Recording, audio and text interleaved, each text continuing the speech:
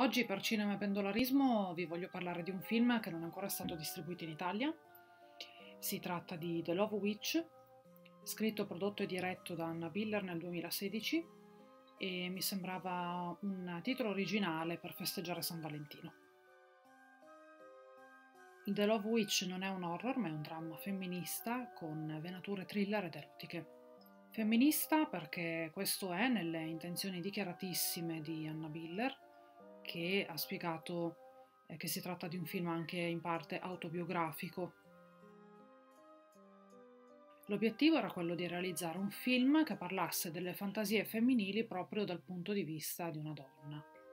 Fin dalla scena dei titoli di testa, che è meravigliosa e ricorda le più classiche eroine di Hitchcock alla guida, eh, apprendiamo che Hélène si sta trasferendo da San Francisco verso una piccola cittadina della California del Nord eh, in seguito alla morte del marito Jerry.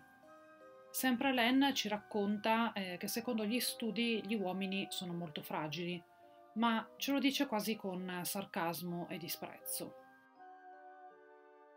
E sempre Len spiega che dopo la morte del marito eh, lei eh, si è sentita come morta, ma poi è rinata grazie al fatto eh, che è diventata una strega. E spiega di aver studiato parapsicologia e che gli uomini sono come dei bambini, che i loro desideri e le loro necessità sono davvero semplici, a loro basta trovare una donna che li ama, eh, che si prende cura di loro e il sesso è un modo per arrivare al loro cuore. Hélène spiega queste cose a Trish, la donna che l'ha accompagnata eh, alla casa di Barbara, un'amica comune che le ha appunto affittato la casa. Trish però è una donna moderna, completamente diversa da Hélène. Infatti quando Hélène le spiega tutte queste cose, Trish le dice ma ti sei bevuta il cervello a forza di patriarcato. Guarda me e mio marito Richard, siamo così felici, io non ho bisogno di compiacerlo, lui mi ama per come sono.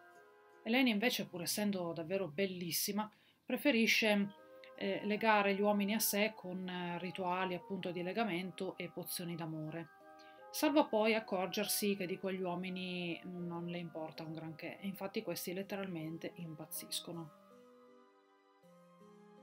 Poco dopo, infatti, con profondo disprezzo che Hélène commenta le pene d'amore del primo uomo che cade ai suoi piedi nella nuova località, eh, Wayne.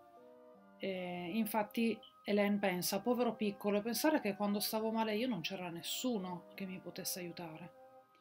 In seguito Hélène seduce e abbandona anche il marito di Trish, Richard.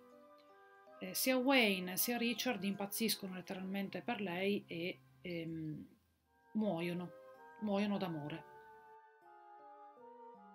Le scene di seduzione eh, sono il massimo del glamour di questo film Samantha Robinson, che interpreta Hélène, e, um, indossa delle extension tattiche che le coprono il seno, quindi in realtà le scene di nudo non sono mai gratuite. Le uniche scene di nudo integrale sono quelle che riguardano i rituali collettivi. Hélène quindi eh, seduce Wayne, seduce Richard e in seguito però eh, viene rintracciata dalla polizia e il detective Griff, che indaga proprio su di lei per la morte di Wayne, eh, cade però ammaliato dalla sua bellezza. Hélène riconosce in Griff l'uomo del fato, eh, quindi l'uomo che le carte le hanno presentato come uomo del destino. Um, eh, sia le carte, sia i sogni, sia anche i dipinti che Hélène crea. Infatti, oltre a essere una strega che eh, vive grazie alla vendita dei suoi intrugli e dei suoi oggetti stregoneschi, eh, Elena è anche un'artista. In seguito però le cose vanno degenerando, eh, infatti nella località accadono degli omicidi nei quali le vittime eh, recano inciso nel petto un tentacolo e quindi i sospetti convergono verso Hélène. Griff la difende da un tentativo di stupro e linciaggio di gruppo, ma le dice anche quello che tu chiami amore è un disturbo della personalità. Al che Hélène gli spiega che per tutta la vita lei è stata buttata nell'immondizia tranne quando gli uomini eh, eh, volevano il suo corpo. Eh, questo perché eh, l'uomo non ama mai la donna per ciò che è realmente. La scena clou di questo film è sicuramente quella rinascimentale, che rappresenta il sogno di Hélène, ma è un mondo che non si può ottenere nella realtà. È fondamentale anche la scena nella quale Trish, dopo la morte del marito, si reca a casa di Hélène, eh, si veste e si trucca come lei. In particolare utilizza il suo stesso rossetto, quel rossetto che Hélène aveva ehm, paragonato a un vero e proprio strumento magico. Trish simboleggia quindi il dramma interiore della donna razionale, della donna moderna, della donna forte, della donna che non ha bisogno di compiacere il marito, che non bada all'esteriorità e all'asservimento all'uomo, ma che allo stesso tempo è molto affascinata eh, da tutto quel rituale di seduzione femminile. E del resto eh, Trish fin dall'inizio eh, dimostra una attrazione anche fisica per la stessa Elena, tanto che le dice ma sei davvero bellissima, però io sono sposata. E poi c'è eh, la contraddizione dell'anello. C'è una scena iniziale nella quale Trish ammette eh, di essere scesa a compromessi accettando il costoso anello di fidanzamento da parte dell'allora eh, fidanzato e poi marito Richard. Anche Hélène più tardi mostrerà eh, un analogo anello a Trish.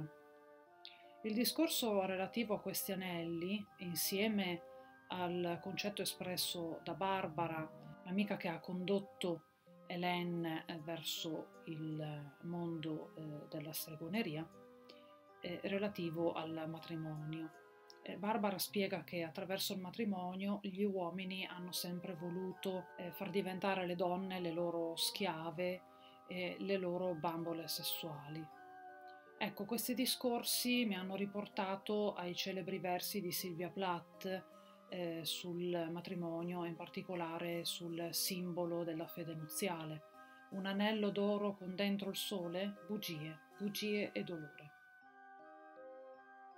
Hélène, inoltre, è una donna abusata e questo lo scopriamo fin dall'inizio, quando, proprio nei titoli di testa, durante il viaggio verso questa nuova località dove intraprendere una nuova vita, eh, ci spiega che nel mondo eh, le persone vengono abusate ogni giorno, anche eh, peggio di, di, quanto è capitato a me. Eppure, eh, spiega, they do fine.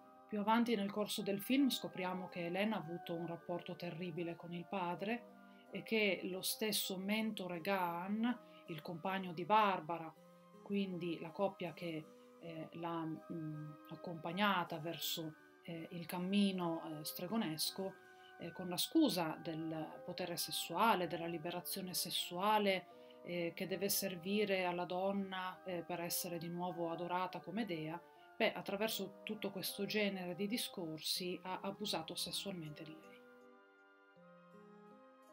Veniamo adesso alla forma di questo film, perché questa pellicola eh, fa rivivere la magia del Technicolor.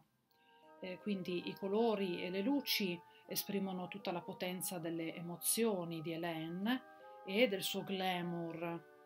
Eh, all'inizio Hélène arriva nella nuova cittadina ed è eh, vestita completamente in rosso, perfino la macchina che guida è rossa, il suo smalto, eh, la borsa, le valigie, il vestito, tutto rosso.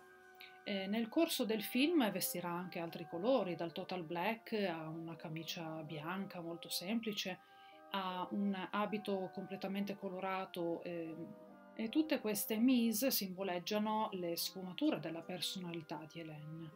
In particolare, ovviamente, il rosso richiama il sangue, sangue che non è tanto quello delle vittime, perché questo non è un horror, di sangue se ne vede davvero poco, è più il sangue simbolico, il sangue della donna, il sangue mestruale.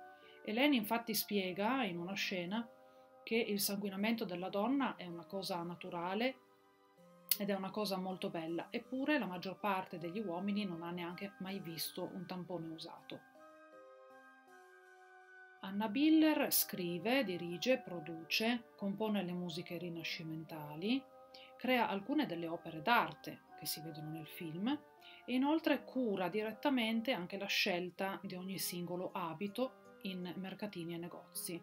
La regista, insieme al direttore della fotografia M. David Mullen, eh, sembrano essersi ispirati davvero ai più grandi cineasti, ehm, non solo a Hitchcock, come dichiarato dallo stesso M. David Mullen negli extra del DVD, e in particolare a Marnie, eh, ma io ci vedo anche, ad esempio, eh, l'ispirazione dettata dal capolavoro di Mario Bava, Sei donne per l'assassino, soprattutto per l'utilizzo dei colori.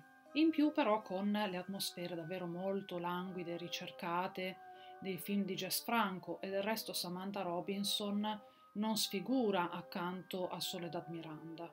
Per quanto riguarda le ispirazioni dichiarate, Anna Biller afferma di essersi appunto ispirata fortemente a Femmina folle, mentre la scena rinascimentale richiama esplicitamente la favolosa storia di pelle d'asino di Jacques Demy. Inoltre, probabilmente, almeno dal titolo, eh, il film potrebbe anche omaggiare una pellicola di Damiano Damiani del 66, Strega in amore, eh, tratto da un libro di Carlos Fuentes, anche se la trama è completamente diversa. Una particolare citazione eh, per The Love Witch va alla colonna sonora che oltre alla parte rinascimentale contiene brani di Ennio Morricone eh, tratti eh, dal Diavolo nel cervello, Verusca, Una lucertola con la pelle di donna e di Piero Piccioni, Le mani sulla città e Chi lavora è perduto. Quindi eh, questo è un film molto più complesso di quello che sembra, è un film per me unico sia per forma sia per contenuto, da vedere assolutamente se vi piace il cinema del passato, da vedere per l'eccezionale prova di Samantha Robinson, eh, da vedere se volete approfondire eh, il cinema femminista, eh, da vedere per le grandi contraddizioni del rapporto uomo-donna, donna-donna e donna all'interno di se stessa. Quindi davvero è un film unico su, su più livelli, un film che ha guadagnato pochissimo al botteghino, forse per, proprio per la complessità e per il fatto che è difficilmente catalogabile. E ancora eh, ho letto qualche recensione, forse un po' troppo lungo. Beh, sono due ore scarse, si può anche affrontare. Non, secondo me non è ecco, un film eccessivamente lungo. E detto questo, basta, io ve lo straconsiglio perché, ripeto, è un film più unico che raro e basta. Grazie dell'attenzione.